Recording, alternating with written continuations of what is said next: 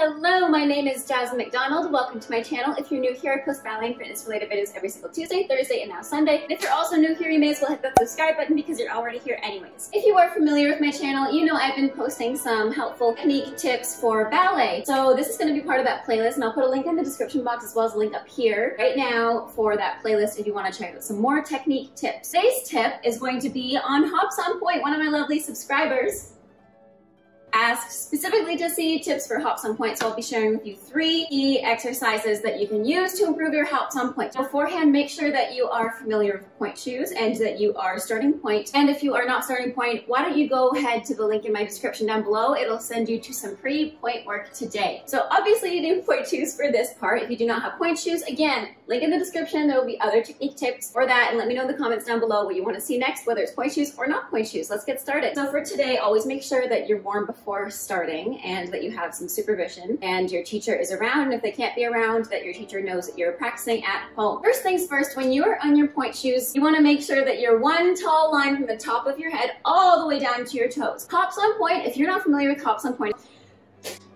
they are the hardest things in ballet because they sound like they are. You are literally hopping on your toe.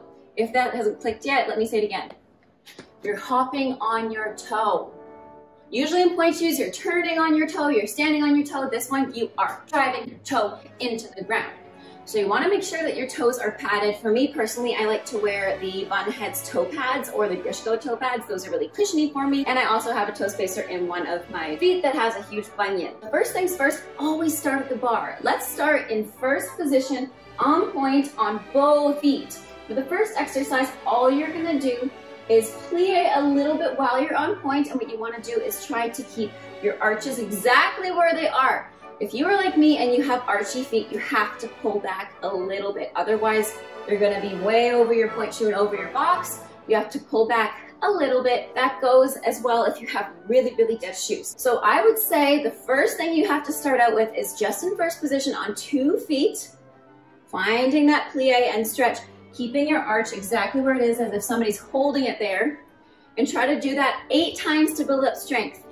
Add another two every single day and every single time you're practicing it. If this is too difficult, take it parallel in sixth position facing the barre. The same thing, just bending and stretching. Trying to keep your arches exactly where they are. You don't want to go over your box and you don't want to go too far back, otherwise you're going to slide off your points. Second exercise, if that's too easy in first position, go right ahead from fifth position with one foot in front, one hand on the barre or two hands on the barre, and you're gonna switch feet. So you're gonna switch sides. So I'm gonna plie and bend on one leg and stretch, and I'm gonna plie and bend on the front leg and keep going. You wanna do that also about eight times to really strengthen your arches and your ankles. This one's really tricky, so only do this if you feel advanced enough and that you have finished the two feet one by yourself, the barre and without.